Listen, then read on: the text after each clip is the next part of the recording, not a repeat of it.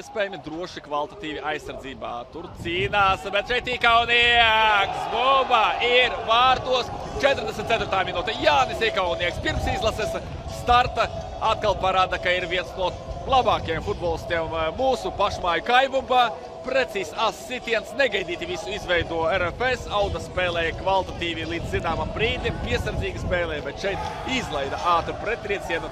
Un Jansis, Jansis zina, kā jebkurā situācijā rīkoties centrējus. Un šeit gan ir sitiens un bumba nonāk vārtos. Un tas ir Tas ir paničs.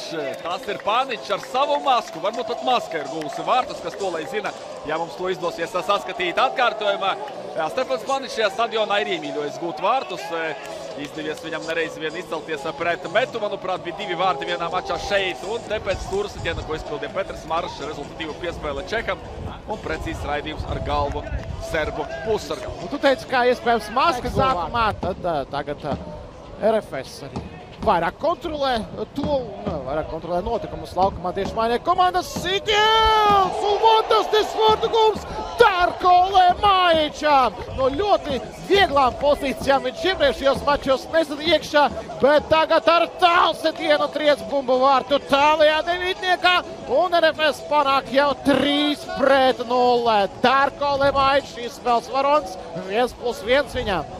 Jā, Lamaičs ne tikai nesit no vienkāršām situācijām, viņš nesit arī bumbu vārtos ar galvu, bet toties ar kāju.